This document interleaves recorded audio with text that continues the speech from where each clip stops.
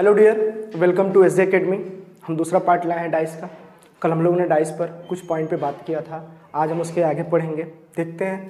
पहले ही रिवीजन कर लेते हैं। कल किस किस टॉपिक पे बात हुई है। फिर आगे धीरे धीरे करके एक एक पढ़ते हैं। जैसे प्रीवियस वन पढ़े थे हम आइए, देखते हैं।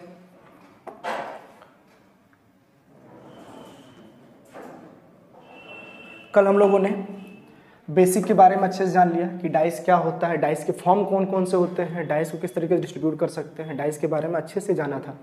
आज फिर आगे देखते हैं। फिर हम लोगों ने कल और पढ़ा था। No surface common no surface common में ये होता है कि एग्जामिनर बस केवल एक बार ही डाइस को जंप करता है, फिर उसी पर रुक जाता है, फिर आपसे पूछता है कि स्टैंडर्डाइज है कि नॉन स्टैंडर्डाइज है। फिर हम आइडेंटिफाई करना हम लोगों ने सीखा था कि स्टैंडर्डाइज क्या होता है और नॉन स्टैंडर्डाइज क्या होता है।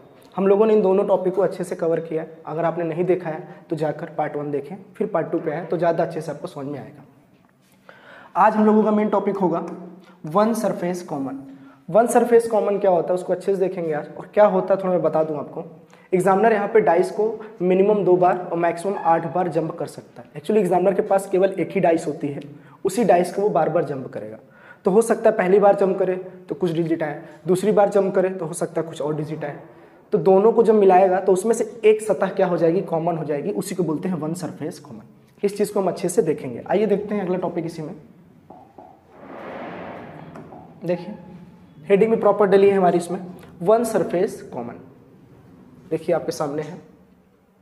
One surface common one surface common में क्या होगा? मैं आपको अभी बताया कि एग्जामिनर एक ही डाइस को मिनिमम दो बार और मैक्सिमम आठ बार जंप कर सकता है। तो एग्ज़ाम में इतना ज़्यादा आठ बार तो लेगा नहीं। तीन या चार बार ले लेगा। जैसे मैं आपको दिखा दे रहा हूँ कि तीन चार में वो कैसे ले सकता है, किस प्रकार से ले सकता है। देखिए जैसे, ये देखिए। देखिए एग्जामिनर ने यहाँ दो डाइस फेंकी है, यहाँ पे दो फेंकी और यहाँ पे चार फेंकी है। तो एग्जामिनर दो मिनिमम दो और मैक्सिमम आठ बार जंप करा सकता है। तो हम देखेंगे इस चीज़ को आराम से। आइए समझते हैं कि वन सरफेस कॉमन होता क्या है। वन सरफेस कॉमन आपको नाम से ही समझ में आ रहा होगा। आइए देखते हैं। इसको मैंने हिंदी में भी बताया था, आपको बता सकते हैं। एक सतह समान। एक सतह समान। एक सतह समान कैसे? जैसे यहाँ पे दो पॉइंट आपको दिए हैं, पहला ये और दूसरा ये। इन दोनों एग्ज़ाम्पल के थ्रू से हम वन सरफेस कॉमन को अच्छे से समझेंगे। एग्जामिनर ने यहाँ पे दो डाइस को जंप किया और यहाँ पे आपको दिख रहा होगा कि दोनों ही सिचुएशन में एग्जामिनर का एक चीज़ कॉमन है। क्या कॉमन है? हम इस चीज़ को देखते हैं। यहाँ पर दो और यहाँ पर भी दो। एग्जामिनर ने जैसे भी थ्रो किया है इसको थ्रो करने की वजह से दोनों सिचुएशन में एक चीज़ कॉमन निकल गई। एक चीज़ कॉमन निकली, इसीलिए इसको वन सरफेस कॉमन बोलेंगे। अगर दो चीज़ निकलती तो इसको हम टू सरफेस कॉमन बोलेंगे, जो कि अगले टॉपिक में हम इस चीज़ को पढ़ेंगे। चलिए। तो देखते हैं, अगर यहाँ पे मान लीजिए कि वन सरफेस कॉमन है, दो चीज़, एक चीज़ कॉमन है इसमें, दो डाइस में एक चीज़ अगर कॉमन है तो इस चीज़ को हम आराम से समझ चलो देखो वन सरफेस कॉमन में क्या था कि एक चीज़ यहाँ पे कॉमन होगी। इसी एक के कॉमन की वजह से हम इसके हेल्प से हम पूरे डाइस के जितने भी सरफेस होंगे, उनके हम अपोजिट का पता करेंगे। कैसे? बहुत सिंपल फॉर्म में आपको मैं बताता हूँ। एग्जामिनर इसको कैसे थ्रो किया, आपको सोचने की ज़रूरत बिल्कुल नहीं है। स्प्रेड ऑफ़ डाइस जब पासे का प्रसार हम पढ़ेंगे तो वहाँ पर आपको अच्छे सिखाऊँगा कि एग्जामिनर जो डाइस को थ्रो करता है, वो किस फॉर्म में थ्रो करता है। यहाँ हम केवल ये जानेंगे कि ये जो एक का अपोजिट क्या होगा, तीन का क्या होगा, दो का क्या होगा छः का क्या होगा, चार का क्या होगा, इनके हमको अपोजिट को पता करना और कुछ नहीं। आइए, देखते हैं। मान लीजिए एक डाइस है, यहाँ पर अगर एक कॉमन है तो जो चीज़ कॉमन होता है, जो चीज़ कॉमन होता है, उसे हम यहाँ पे लिख लेते हैं। जैसे कि पहले वाले डाइस में जो कॉमन है, वो दो कॉमन है मतलब दो डॉट कॉमन है। इस वाले में भी जो कॉमन है, उसको भी हम लिख लेंगे यहाँ पे दो। एक्चुअली दोनों में कॉमन है दो दो इसलिए हम लोगों ने दो दो को लिया। उसके बाद इसको हम क्लॉकवाइज घड़ी की दिशा में, मैं आपको फिर बता दे रहा हूँ, घड़ी की दिशा में इसको हम रोटेट करेंगे। घड़ी की दिशा में रोटेट करने से क्या होगा कि एग्जामिनर ने जैसे भी इसको थ्रू किया होगा उस सिचुएशन से हम जान जाएँगे कि वो मतलब किस फॉर्म में जाना चाह रहे हैं। तो हम इसको घड़ी की दिशा में ही केवल ले जाएँगे तो ज़्यादा अच्छा होगा हमारे लिए। जैसे दो है, फिर दो के जस्ट तुरंत बाद तीन डॉट आया है, फिर उसके जस्ट तुरंत बाद एक डॉट आया है। ये तो पहले वाले डाइस की बात कर रहा हूँ, पहले वाले का। ये पहले वाले में जैसे थ्रू किया है, उस चीज़ को हम क्लॉकवाइज देख रहे हैं। दूसरे वाले की अगर हम बात करें कि एग्जामिनर ने दूसरे वाले को कैसे थ्रू किया तो दो वहाँ भी कॉमन है तो दो के सामने दो लिख लिया, क्योंकि कॉमन है तो दोनों चीज़ सेम होगी। तो यहाँ से भी अगर क्लॉकवाइज देखेंगे तो यहाँ पे आपका चार आ रहा है और यहाँ पे आपका छः आ रहा है। छः यानी कि छः डॉट आ रहा है। इसका मतलब यहाँ से हमारा ये कंक्लूजन निकला कि जो चीज़ कॉमन है, उसको अगर हम छोड़ दें और जो चीज़ अनकॉमन होती है जैसे कि मान लीजिए ये ये जो चारों हैं, ये एक दूसरे से अनकॉमन है। अगर ये अनकॉमन है तो हम ये चीज़ आराम से बोल सकते हैं कि तीन जो है, तीन जो है वो चार का अपोजिट है, एक जो है वो छः का अपोजिट है। जैसे आप खुद यहाँ नोटिस कर लिए दो दो अगर एक कॉमन है एग्जामिनर दोनों सिचुएशन में अगर दो दो डाल रहा है कॉमन है, इसका मतलब ये है कि ये दोनों अनकॉमन है। इसका मतलब जस्ट इसका अपोजिट ये नीचे वाला हो जाएगा, इसका अपोजिट उधर वाला हो जाएगा। इसका मतलब मैं बोल सकता हूँ कि तीन का जो अपोजिट है वो चार हो जाएगा एक का अपोजिट जो है वो छः हो जाएगा। आइए एक एग्ज़ाम्पल और इसको अच्छे समझते हैं, आराम से आ जाएगा, कोई जल्दीबाजी नहीं है। देखिएगा। देखिए, जैसे मैंने एक डाइस लिया आपके लिए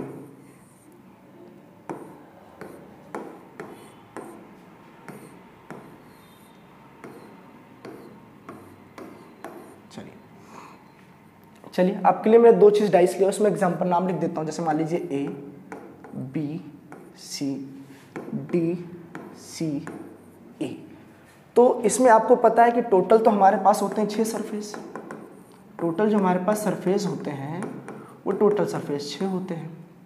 तो ज़ाहिर बात है एग्जामिनर को जो नाम लेना चाहिए नेम वो नेम भी एग्जामिनर को छः लेने चाहिए थे।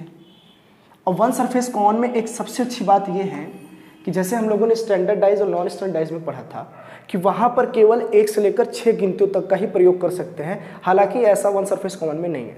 वन सरफेस कॉमन में ये चीज़ें हैं नोट लिखते हैं हम यहाँ पे, समझते हैं। वन सरफेस कॉमन में दुनिया की कोई भी चीज़ ले सकते हैं, बस केवल छः चाहे वो मैं किसी का नाम ले लूँ, चाहे मैं किसी प्लेस नेम ले लूँ, चाहे मैं नंबर ले लूँ, चाहे मैं अल्फ़ाबेट ले लूँ दुनिया का कोई भी छः नाम में ले सकता हूँ। दुनिया का कोई भी छः नाम में ले सकता हूँ, ये वन सरफेस कॉमन का ये नियम है। जैसे यहाँ पे पहले देखे तो डॉट था, अब यहाँ पे अल्फ़ाबेट देख रहे हैं। नाम हम केवल छः लेंगे छः से ज़्यादा और कम नहीं लेंगे, क्योंकि सरफेस हमारे पास टोटल छः ही होते हैं। तो हम बोल सकते हैं कि एग्जामिनर ने यहाँ पर छः नाम का यूज़ किया A B C D E और एफ़ एक्चुअली में आपको छः नाम का यूज़ करना चाहिए, इसने केवल पाँच नाम का यूज़ किया। अब देखिए ए बी सी, डी, ई। और हालाँकि सी तो कॉमन है इसमें। सी तो आपका कॉमन निकल गया। सी आपका इसमें कॉमन निकल गया। इसलिए ये एक माना जाएगा। तो टोटल पाँच नाम का यूज़ किया, जबकि इसे छः नाम का यूज़ करना चाहिए। यहीं से एक नियम पता चलेगा, आगे अभी देखते हैं। फिर आपको सिखा रहा हूँ मैं कि जो चीज़ कॉमन होती है, उसको आप उसी फॉर्म में वैसे ही लिख लेंगे। उसके बाद जस्ट आप इसको क्लॉकवाइज में घूमेंगे। दोनों दोनों डाइस में सेम वही करेंगे। सेम वही सिचुएशन इसमें बनाएँगे।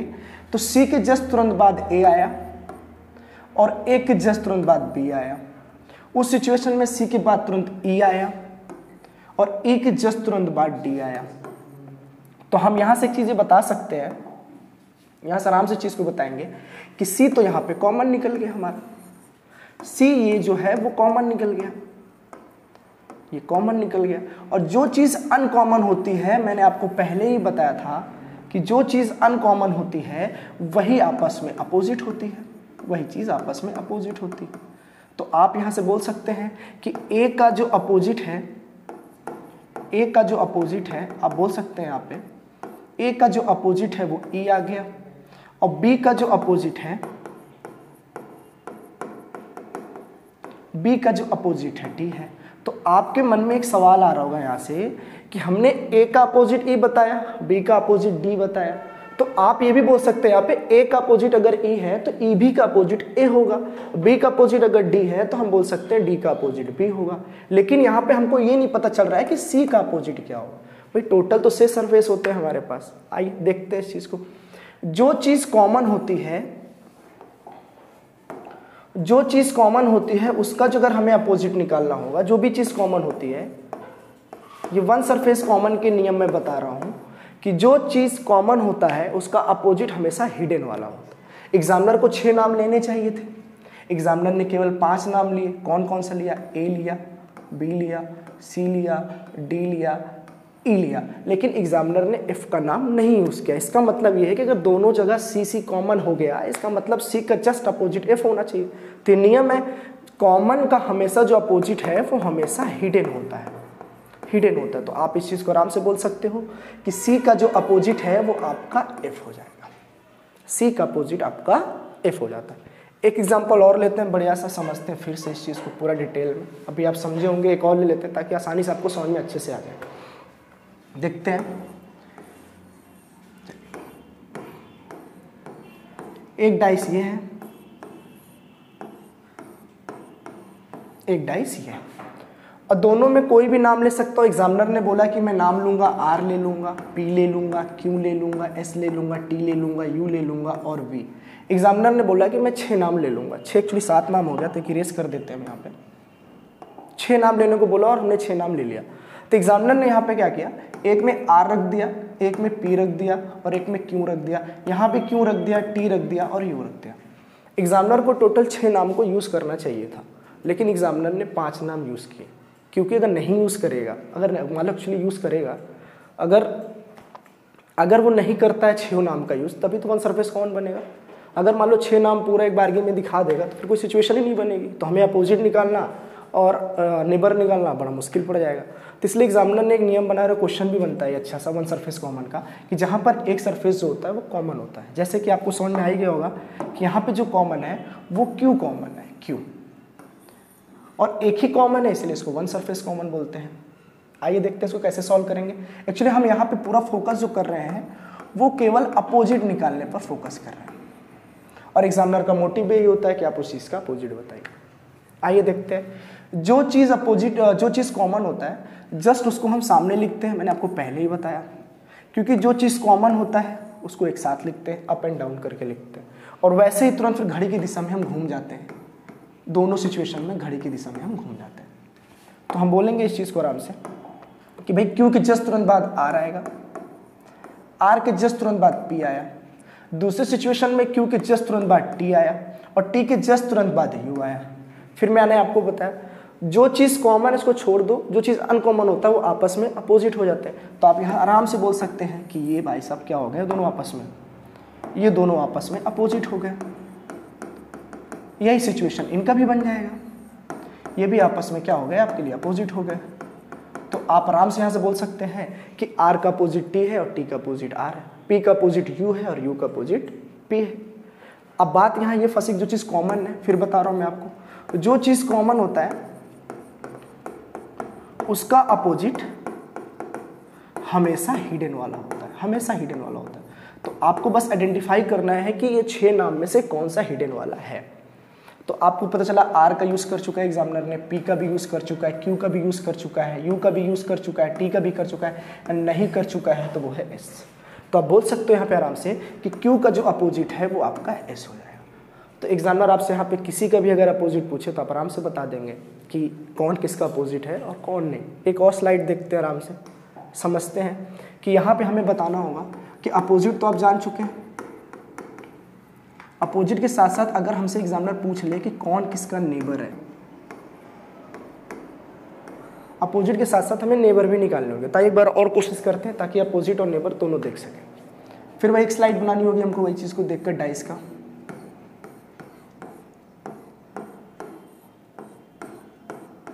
चलिए, दो बना लिए हम लोगों ने, चलिए। इसमें नाम भी फिल कर देते हैं अपने हिसाब से। जैसे मान लेता हूँ कि इस बार वो कोई प्लेस का नाम ले ले, जैसे मान लो कि चलो इलाहाबाद ले ले, लखनऊ ले ले, कानपुर ले लिया उन्होंने, ठीक है, बनारस ले लिया, ठीक है, और जैसे मान लीजिए कोलकाता ले लिया, मुंबई ले लिया ऐसे छः नाम उन्होंने कोई भी ले लिए। के के कॉमन हो जाएगा तो आपको समझने के लिए एक नाम चेंज कर दे रहा हूँ मैं, दोनों सिचुएशन में। जैसे मान लो तमिलनाडु ले लिया, ठीक है तो ऐसे टोटल उन्होंने छः नाम ले लिए। तो छः नाम को फिल करेगा यहाँ पे ए कोई भी नाम ले सकता है एल के बी ए एम उन्होंने पाँच नाम ले लिया और ज़ाहिर बात इसमें एक नाम जो होंगे वो कॉमन हो जाएँगे। तो आपको दिख भी रहा होगा कि इसमें कॉमन कौन सा है? एक ए हो जाएगा, ये कॉमन हो जाएगा और इस चीज़ में ये कॉमन हो जाएगा। ठीक? तो ए और ए दोनों सिचुएशन में कॉमन हो गई है। तो आइए देखते हैं, जो चीज़ कॉमन है उसको सेम वैसे फिर लिख लेते हैं। ए और ए इस बार जल्दी बताऊँगा, आपको पहले से भी पता होगा, इस बार हमको फोकस मेन नेबर पे करना है। चलिए, देखते हैं। ए का जस्ट आगे बढ़ेंगे क्लॉकवाइज तो एल आ जाएगा, फिर आपका के आ जाएगा। फिर इस ए वाले सिचुएशन में आगे बढ़ेंगे तो एम और इसमें बढ़ेंगे तो बी यहाँ पर एम आ जाएगा और यहाँ पर आपका बी आएगा तो आपको पता है कि एल एम आपस में अपोजिट है के और बी आपस में अपोजिट है। और जो चीज़ कॉमन होता है, जो चीज़ कॉमन होता है, मैंने आपको पहले ही बताया, जो चीज़ कॉमन होता है, उसका जो अपोजिट है, वो हिडन होता है। वो हिडन होता है। आप यहाँ पे कह सकते हैं कि ए का जो अपोजिट है वो हिडन है। तो हिडन यहाँ पे क्या है? अगर ए ले चुके हैं एल ले चुके हैं के ले चुके हैं बी ले चुके हैं एम ले चुके हैं तो आप बोल सकते हैं यहाँ पे जो हिडन है, वो है टी तो ए का अपोजिट जो हो जाएगा, वो आपके लिए टी हो जाएगा। ठीक? लेकिन हमें मेन तो यहाँ नेबर निकालना था। और पहले पार्ट में मैंने आपको चीज़ को बताया था कि किसी भी एक सरफेस का अपोजिट एक होता है, लेकिन उसके नेबर जो होते हैं वो चार होते हैं। तो आप यहाँ पे एक चीज़ को समझ लो आराम से कि मान लीजिए जैसे एल का जो अपोजिट है एल का जो अपोजिट है, वो एम है। तो अगर मान लो आप यहाँ पे कि एल का अपोजिट अगर एम है तो ज़ाहिर बात इसके जो पड़ोसी होंगे, वो उसके चार होंगे। तो चार कौन से होंगे? एल और एम को छोड़कर इसके सारे पड़ोसी होंगे एल के। तो कौन कौन से होंगे? अगर एल एम को छोड़ दूँ तो ए हो जाएगा, इधर आपका टी निकला है टी हो जाएगा, इधर आपका के है, इधर आपका पी है। यही सिचुएशन अगर एम के साथ पूछे तो एम का अपोजिट अगर एल है तो एल को छोड़ दो। बाकी जितने भी चार नाम होंगे आपके, वो उसके सारे क्या हो जाएँगे? उसके नेबर हो जाएँगे। यही सिचुएशन सारा सबके साथ बनेगा ठीक है? आइए, कुछ क्वेश्चन देख लेते हैं इस पर मुझे लगा कि आपको समझ में आ गया होगा। वन सरफेस कॉमन क्या होता है? अच्छे समझाए। आइए, थोड़ा सा एक बार और, थोड़ा सा नोट देख लेते हैं इस पर कि वन सरफेस कॉमन के क्या इंपॉर्टेंट नोट है।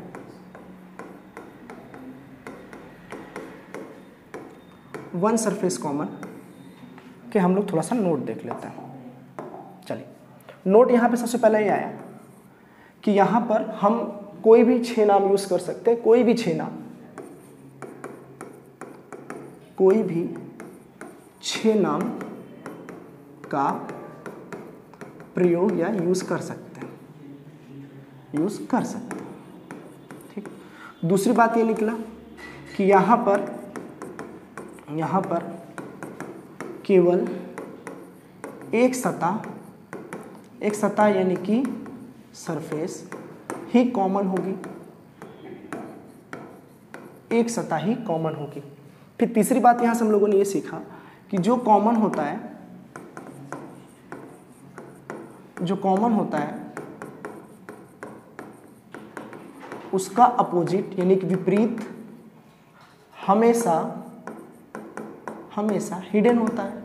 हिडन यानी कि जो चीज़ छुपी होती है जिसका नाम पता ही नहीं होता, हमें उसे हिडन बोलते हैं। तो हमेशा उसका अपोजिट जो है हमेशा हिडन होता है। तो ये तीन चीज़ें आपको याद करनी है वन सरफेस कॉमन में। अगर आप समझ गए हैं तो याद करने की ज़रूरत भी नहीं है। आइए क्वेश्चन देखते हैं, शायद उस चीज़ से आपको और ज़्यादा अच्छा समझ में आएगा। देखते हैं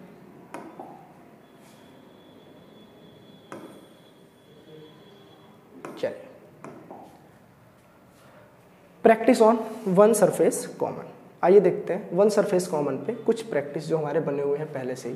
क्वेश्चन बने हैं तो इस चीज़ को हम देखते हैं। मैंने आपको पहले ही बोला कि एग्जामिनर एक ही डाइस को मिनिमम दो बार और मैक्सिमम आठ बार जंप करा सकता है। अब आठ बार तो आपको डाइस देगा नहीं तो कम से कम चार या पाँच, दो या तीन या एक ऐसे करके वो दे सकता है। अब ये आठ चार कैसे जंप कराता है वो आपको स्प्रेड ऑफ़ डाइस पासे का प्रसार में मैं अच्छे से सिखाऊँगा। तो ये प्रैक्टिस करते हैं। पहला। पहले से हम लोग थोड़ा देखते हैं दूसरा वाला। दूसरा वाला ज़्यादा अच्छे समझ में आएगा। देखते हैं, देखिए। पहले दूसरा करते हैं, फिर पहले पे चलते हैं। देखिए।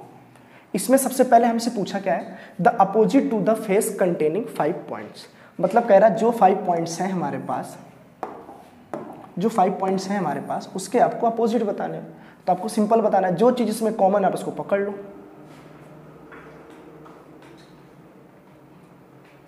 जो चीज़ इसमें कॉमन आप पकड़ लो। चलिए, देखिए। तो इसमें तीन डॉट बना लीजिए एक्चुअली में, ये डॉट गड़बड़ हो गया है। तीन डॉट पकड़ते हैं, ठीक है? चलिए क्योंकि वन सरफेस कॉमन सॉल्व करें तो वन सरफेस कॉमन होना चाहिए। दो हो जाएगा तो क्वेश्चन गलत हो जाएगा। चलिए, देखते हैं। तो इसमें हम लोगों ने ये देखा कि इसमें एक सरफेस कॉमन ढूंढना है ताकि हम सबका अपोजिट अच्छे से बता सकें। जैसे पहला, इसमें दो डॉट है, इसमें हाथ दो डॉट है तो हम ये बोल सकते हैं कि यहाँ पर दो कॉमन है और यहाँ पे भी दो डॉट वाला कॉमन है। बाकी सब अनकॉमन है तो हम बोल सकते हैं कि यहाँ पे केवल एक चीज़ कॉमन दिखी, इसलिए इसको वन सरफेस कॉमन का नाम दिया गया है।